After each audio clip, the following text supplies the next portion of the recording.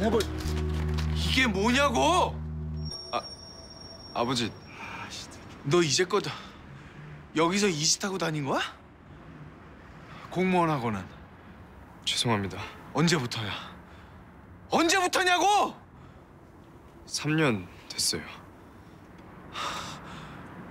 너 이게 뭔지는 알고 하겠다는 거야? 어? 죄송합니다. 야, 저기 내가 낄 자리는 아닌데 됐다. 넌 내일 당장 가서 그만두고 그리고 다시 얘기하자. 아버지 잠시만요. 이번엔 거짓말하기 싫어요. 죄송하지만 그냥 이번엔 안 돼. 그냥 하고 싶어요. 지금은 물론 아직은 데뷔도 못했지만 그렇지만 하고 싶은 일이라고? 네 3년 팠다며.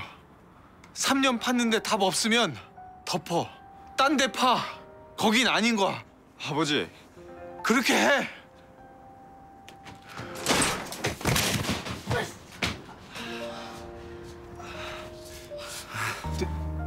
니, 니네 뭐냐?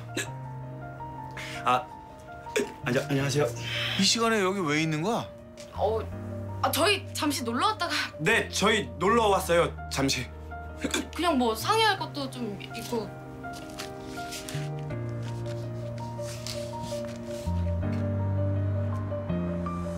니네 설마 사장님, 아니 아저씨. 어, 그러니까 아버님. 저희 집에 잠시 있었어요.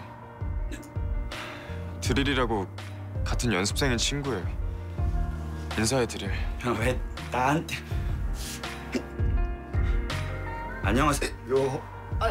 아, 아저씨 저는 어 그러니까 우승이도 잠시 갈 데가 없어져서 죄송해요 아버지.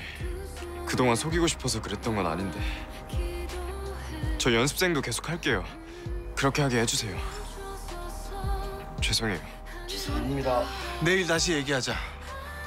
그리고 니들도 내일 각자 집으로 돌아가고 특히 너! 아버지, 넌 당장 때려치우고 긴 말 안 해. 아버지.